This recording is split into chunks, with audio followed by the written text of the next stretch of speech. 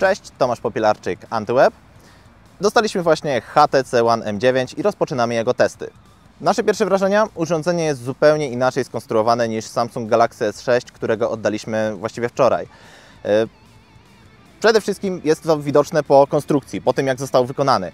E, Cała obudowa jest cała z aluminium, jest cięższa, jest bardziej solidna i masywna. W stosunku do HTC One M8 oraz HTC One M7 różnic nie ma zbyt wielu, ale o tym już wiecie. My teraz czekamy na Wasze pytania, na Wasze sugestie, na Wasze e, propozycje tego, co moglibyśmy przetestować i co chcielibyście, żebyśmy sprawdzili w tym smartfonie. Jest on naprawdę bardzo ciekawym urządzeniem i można chyba śmiało powiedzieć, że jest to jedna z największych premier, jeśli chodzi o pierwszą połowę 2015 roku. E, Postaramy się przetestować go pod kątem tego, jak się spisuje na tle Samsunga Galaxy S6, a także porównać go z iPhone'em 6, którego również mamy w redakcji. Także do przeczytania, do zobaczenia i czekamy na Wasze pytania. Cześć!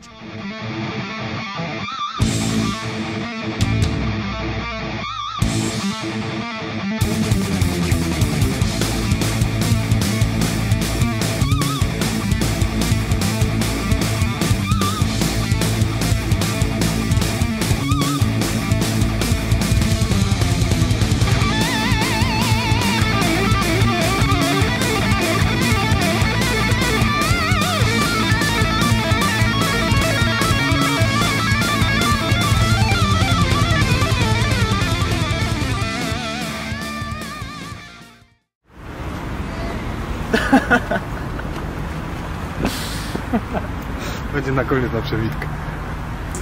Nie wiem, czy wyszło dobrze. Dobrze już.